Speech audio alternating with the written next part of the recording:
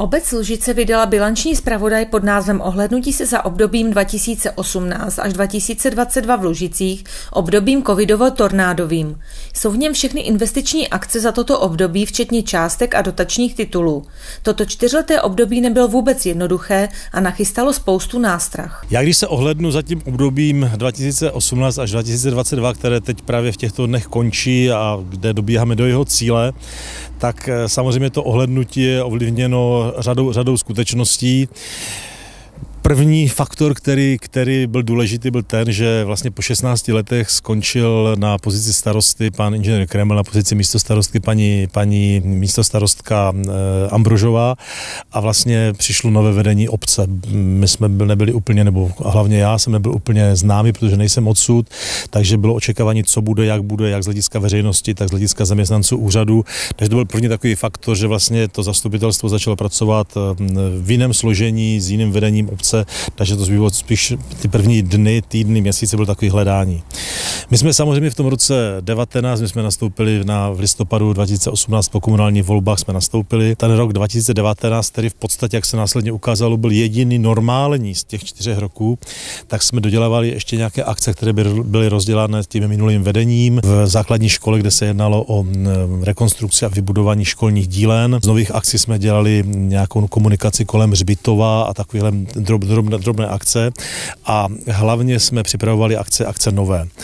Ten rok 19 byl důležitý z mého pohledu ze dvou podstatných věcí. První, my stojíme na Sokolském hřišti a my jsme přebírali eh, Sokolovnu ve stavu, ještě byla opravena podlaha, ale Sokolovna byla v tom takovém starém neutěšeném stavu a vyžadovala rekonstrukci, čeho si byl vědomo vedení i minulé a my také a přebrali jsme Sokolovnu, kde byl připravený projekt rekonstrukce toho suterénu, těch spodních prostor a rada a zastupitelstvo nové zcela logicky správně rozhodlo o tom, že doděláme kompletní projektovou dokumentaci pro celkovou rekonstrukci té Sokolovny a pokusíme se zajistit financování té, té její rekonstrukce. Financování se podařilo zajistit, celkové náklady byly 29 milionů korun, z toho 17 milionů korun šlo z dotací. Na to navázali i hned další práce na tom Sokolském hřišti Beřikl venkovní. My jsme tady v těch prostorách při, při komunikaci Česká jsme dělali retenci dešťových vod, takže je tady 90 kubiková nádrže, nebo 3 30 kubikové nádrže na retenci dešťových vod, které zachycují vodu z těch přilehlých střech, těch obecních objektů a z těch spevněných ploch, které které jsou kolem dokola, takže to je taky úspěch, je to tady v zemi, je to skované, používáme to na zálivku, takže super. A v letošním roce na jaře jsme tady dodělali ten, ty terénní úpravy, jak po vrchu, kde momentálně stojíme, tak se tady vybudovala nová atletická dráha, nějaká tribuna, nějaké venkovní posezení. Takže mám-li zmínit jeden z takových hlavních úspěchů tohoto zastupitelstva, tak určitě je to Sokolovna a Sokolský areál. Dům zdraví, další důležitý projekt, který byl dokončen v letošním roce a nyní byl slavnostně otevřen. V době, kdy my jsme nastupovali na radnici, byl v přípravě projekt rekonstrukce stávajícího zdravotního střediska v prostoru Moravských naftových dolů a společnosti Grossbecker, kde se počítalo s, těma, s rekonstrukcí těch ordinací a s nějakým denním stacionářem. My jsme zvažovali, jestli v tom projektu pokračovat, nepokračovat, zastavit ho, byly kolem toho nějaké diskuze. Nakonec padlo, a jak se ukázalo, prozíravé, ale to jsme nikdo netušil, co se stane 24. června, padlo rozhodnutí, že ten projekt zastavíme a naskytla se možnost v centru obce koupit pozemek, bývalý areál Mont, filmě Mont Petrol, tak ten jsme s úvěrem 7 milionů korun od České spořitelny koupili s tím, že tam se vybuduje nové zdravotní středisko, nový dům zdraví. Toto rozhodnutí bylo poměrně podstatné.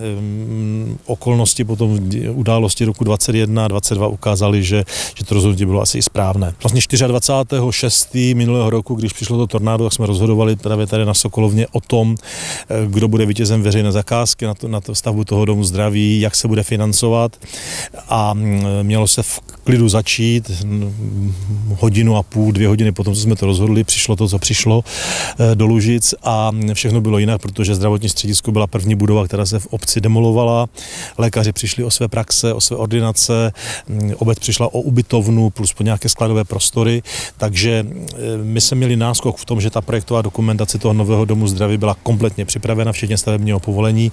Mohli jsme hned začít, byť úplně úplně jiných okolnostech, v jiných souvislostech, než které se kdo dokázal představit. Přístavba kuchyně a stavební úpravy v mateřské škole v Lužicích byla další velkou investiční akcí, která byla plně hrazena z rozpočtu obce. Lužice mají ve školských zařízeních dvě kuchyně, obě dvě ty kuchyně jsou v nějakém už stáří, v nějakém technologickém stavu, v nějakých poruchách a dalších záležitostech, takže my jsme rozhodli o tom, že v prostoru dnešní mateřské školky se postaví nová velkokapacitní kuchyň, která do budoucna bude zásobovat všechna školská zařízení, která tady v Lužicích máme, plus cizí strávníky a v prostoru té dnešní kuchyně se vybuduje čtvrtá třída, takže školka se rozšíří o nějakých 25 míst. V těchto dnech ty práce finišují, běží, takže mm, od začátku října bude školka k dispozici pro, pro rodiče, pro děti. Celé období od jara roku 2020 bylo ovlivněno dobou covidovou a následně tornádem v červnu roku 2021. Taková dvojitá zkušební dávka pro občany, obec, zastupitelstvo a celkově zásah do běžného života. Cením si toho, že to zastupitelstvo postupovalo, by řekl jednotně, postupovalo dynamicky, postupovalo operativně. My jsme jedni z prvních rozhodli o, o, o příspěvcích těch obyvatelům z těch veřejné sbírky. Rozdělovali jsme ty peníze už od září, takže myslím si, že eh, se nemáme za co stydět. To, co jsme z hlediska toho tornáda tady potom dokázali v tom podtornádovém období, myslím si, že se v Lužici nemáme za co stydět. V tu chvíli nejspíš všechny plánované investice šly bokem a museli se řešit úplně jiné věci, které byly ty nejzásadnější, které jste v rámci toho, co spáchalo tornádo, museli řešit? Já vás možná překvapím, ale my jsme z těch investic, bych řekl, necouvli. Jo. My, jsme, my jsme měli připravený, jak jsem říkal, dům zdraví byl připravený, pouze to tornádo to dostalo do jiného světla. My jsme i v době po, té torna, po tom tornádu řešili tu mateřskou školku a vypisovali jsme výběrové řízení, byť školka nebyla zasažena, ale nechtěli jsme od toho couvat, od toho záměru a samozřejmě v těch prvních dnech jsme řešili dominantně eh, likvidační práce a všechno všechno, co s tím souviselo s tím tornádem a s tím potornádovým šokem, ale z hlediska těch investic my jsme nezastavili nic. My jsme najednou stali před tím, že jsme museli eh, uvažovat o tom, že vza, my jsme neměli zasaženou naštěstí školu, neměli jsme zasaženou Sokolovnu úřad, nic takového, jako třeba v Moravské Nové Vsi, takže my jsme měli v tomhle tom, jsme skutečně byli z těch obcí na tom nejlépe. Nám to, nám to zasáhlo tu z hlediska toho majetku obce, to zdravotní středisko, bytový dům a pak ten lužák, takže my jsme Zdravotní středisko jsme měli nachystané, připravené, povolené, takže jsme se mohli do toho pustit. Úvaha o tom, že bychom nahrazovali, nahrazovali ten bytový dům, ta tady nebyla. Nechtěli jsme, ten dům byl určen do budoucna v nějaké perspektivě k demolici. My jsme se majetkově finančně vypořádali s těmi nájemníky, byla to uzavřená kapitola a my jsme tu pozornost z hlediska přípravných prací, to znamená nějakých studií, nějakých koncepcí, mohli soustředit na ten lužák, kde se to vlastně dostalo do pozice nějakých tři, čtyř úkolů. Za prvé my tam máme v plánu, a už to běží na plné obrátky, ty přípravné práce, to je restaurace, protože ta byla vlivem toho tornáda byla poškozená. Ona si sice nemusela z důvodu nějakého statického technického bourat, ale když jsme to zvažovali, tak jednomyslně, a toho si taky vážím, že na úrovni zastupitelstva jednomyslně byl rozhodnuto, že se zbourá a postaví se nová. Takže e, z hlediska těch potornádových našich záměrů e, se to vlastně nejvíc dotýká ta přípravná fáze toho areálu cihel na areálu ploštin, to znamená, je to restaurace, je tam nějaké sport sportovní rekreační zázemí, je tam nějaký areál pro zdejší skautské oddíly, které tam připravujeme a je tam obrovská plocha 6 hektarová zeleně, kterou připravujeme teď formou nějakého lesoparku, projekčně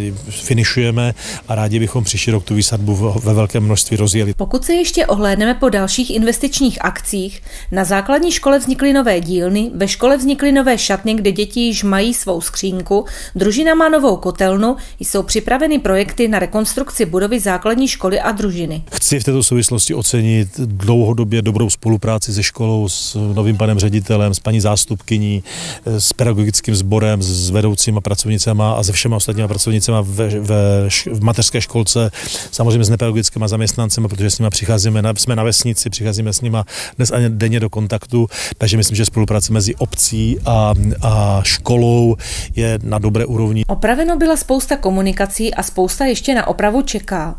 Na kompletní přeměnu také čeká veřejné prostranství před radnici na místě bývalého kina, kde by mělo vzniknout prostranství neboli náměstíčko pro veřejná setkávání. Největším a nejtěžším úkolem bude však vrácení sociálního života do normálu. Covid výrazně a to tornado samozřejmě taky výrazně ovlivnilo takový ten kulturní společenský život. Ehm, neuskutečnili se řada akcí takových tradičních těch Lužicích. My jsme vlastně přišli v roce 2021 o hody. Byli jsme, plesová sezóna se letos posunovala, v minulém roce vůbec nebyla, ty tradiční plesy, takže ten dopad tady byl značný. Vnímám to jako velký problém z hlediska i takové atmosféry v té obci, i těch mezilidských vztahů. Myslím, že jsou jiné, než byly před čtyřma rokama, že jsou dneska jiné. E, ti lidi jsou unavení z těch, z těch z toho všeho, čím tady, čím tady prošli, takže to vnímám a to si myslím, že bude i taková výzva na ty další čtyři roky, co udělat pro to, aby se to trošku jako obrátilo, aby se tomu pomohlo. Nicméně ty okolnosti dneska válečné a energetické a ekonomické tomu příliš nenahrávají, ale uvidíme, jak se, jak se to bude to jenom a jenom o nás tady v Lužicích, nikdo za nás atmosféru v obci nezmění, ani předseda vlády, ani Brusel, ani, ani já nevím kdo, je to o nás a záleží, jak se ta, ta komunita k tomu postaví. Pane starosto, co byste rád popřál všem občanům Lužic? Já bych předně všem občanům chtěl poděkovat. Já jsem před čtyřmi roky tady nastoupil jako osoba nepříliš známa, nemístní do, do, na pozici starosty a s těmi občany jsem se seznamoval oni se mnou. Já chci poděkovat za veškerá příjemná, pozitivní, milá setkání, kterých nebylo málo. Chci i pro sebe svým způsobem poděkovat i za třeba setkání, které třeba nebyla příjemná nebo byla, byla konfrontační, ale i z toho, je člověk vnímavý, se lze poučit, lze si udělat nějaký obrazek, lze si udělat nějaký názor a může to člověka nějakým způsobem posunout a posilnit. Mám rád kritiku slušnou, solidní, adresnou, srozumitelnou, jasnou. Chtěl bych samozřejmě popřát u těch voleb šťastnou ruku. Přeji jim šťastnou ruku z hlediska toho krátkodobého, samozřejmě přeji pevné zdraví, dobrou mysl, přeji pokoj, přeju jim to, aby, aby nebyli závistiví, aby byli přející, aby byli pozitivní, ne ve smyslu covidu, ale ve smyslu životního, životního optimismu, životního pohledu, pohledu na život, aby hledali to příjemné z toho života a ne to nepříjemné, aby vytvářeli příjemnou sousedskou atmosféru, protože od té sousedské atmosféry a od, od těch příjemných vztahů, které budou mezi námi, se potom odvíjí i ta příjemná atmosféra, ty příjemné vztahy v celé naší obci. A já to vždycky zdůrazně opakuju, nikdo za nás v Lužicích nevyřeší to, jak se tady budeme žít, jak se budeme k sobě chovat. Je to jenom a jenom o nás, není to o starostovi, je to o každém z nás, aby jsme si přiložili ruku k dílu a v Lužicích se nám žilo dobře.